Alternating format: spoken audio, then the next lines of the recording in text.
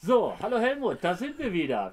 Thomas, da bist du ja. Pass mal auf mit dem Weinler. Ne?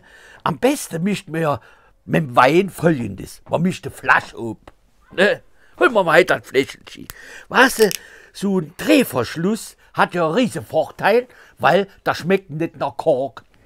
So, jetzt schenken wir mal das Gläschen in. Wie man gelehrt, dann hält man unten am Stängelchen, ne? Und jetzt guckt man erst einmal, was der für ein Farb hat. Gucke mal.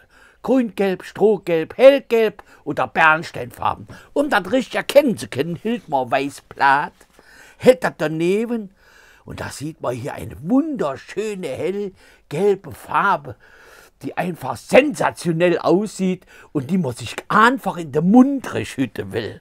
Ja, jetzt gucke noch mal mit der herrlichen Farbe. Und jetzt muss man das so ein bisschen schwenken, ne? So, und dann entwickelt sich das Aroma und der Duft macht, wird freigesetzt und da kann man da oben das Näsi mal dran halten. Jetzt gucken wir mal.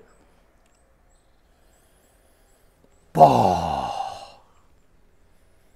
Und wenn der einen guten Nuss hat, der Wein, dann ist er doch ein guter Wein, verstehst du? Und der der duftet blumig.